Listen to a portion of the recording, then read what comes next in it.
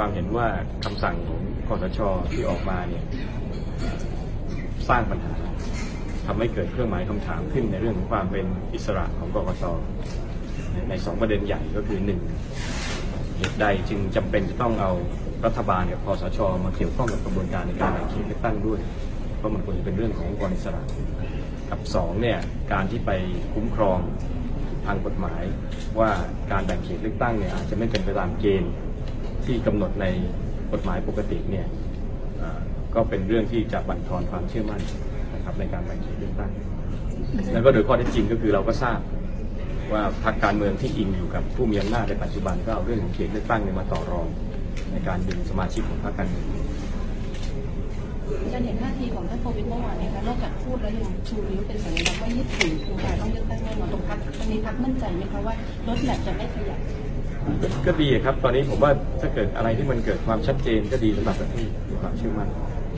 อาจารย์คะเห็นครั้งที่แล้วเนี่ยหลายพรรคก็บอกว่าอาจจะมีการคุยกันเรื่องเลื่อนไม่เลื่อนเลือกตั้งในวันที่เจ็ดเนี้ยค่ะอาจารย์เรายังไม่น่าจะเป็นประเด็นนั่นแหละครับผมว่าขณะนี้ทุกพักก็มีความพร้อมแล้วก็มุ่งเข้าสู่การเลือกตั้งนะครับอะไรที่ไปสร้างความไม่แน่นอนขึ้นอีกไม่เป็นประโยชน์ในส่วนรวมนั่นเท่ากับว่าวันที่เจ็ดธันวาคมนี้น่าจะมีความชัดเจนเรื่องวันที่แน่นอนแล้วใช่ไหมคะอาจารย์ ต้องถามต้องถามคนที่สามารถจะกำหนดได้นะครับแต่ว่าในความเห็นของเราเนี่ยอะไรที่เดินไปตามปฏิทินที่กำหนดไว้ก็จะช่วยสร้างความเชื่อมั่นให้กับประเทศ สร้างความเชื่อมั่นให้กับรัฐบาลเองแต่อย่างล่าสุดโพลออกมาหญิงสกาลาที่อันดับหนึ่งที่เขาสนับก็สนุนมีหลายโพลครับ ผมก็ดูอยู่หลายโพลครับ ไม่ได้มีปัญหาแล้วครับ ถึงเวลาก็ต้องแข่งขันกันทั้งนั้นในวันที่7ที่อาจจะมีการพูดถึงเรื่องของการปลดล็อกหรือคลายล็อกเนะคะอาจารย์ มันก็มีบางฝ่ายว่าการปลดล็อกเนี่ยอาจจะยังทำให้พรรคการเมืองเดินงานการเมืองได้ไม่ร้อยเปอร์เซ็นต์ว่าอาจจะต้องมีทหารเนี่ยเข้าไปช่วยดูหรือว่าช่วยช่วยไม่ให้เกิดความขัดแย้งกับกลุ่มการเมืองการตรงนี้มองว่าจะเป็นปัญหาอะไรคะผมมองว่าเรามีกฎหมายของบ้านเมืองที่ดูแลในเรื่องของความสงบเรียบร้อยได้อยู่แล้วนะครับไม่จำเป็นจะต้องเอาเรื่องนี้มาพันกับ การทำกิจกรรมทางการเมือง หรือกิจกรรมที่เกี่ยวข้องกับการเลือกตั้งนะครับคนที่จะก่อความ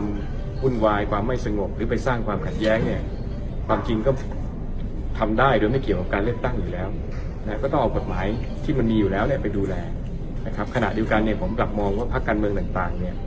ก็ไม่น่าจะมีพรรคไหนประสงค์จะให้เกิดความขัดแย้งขึ้น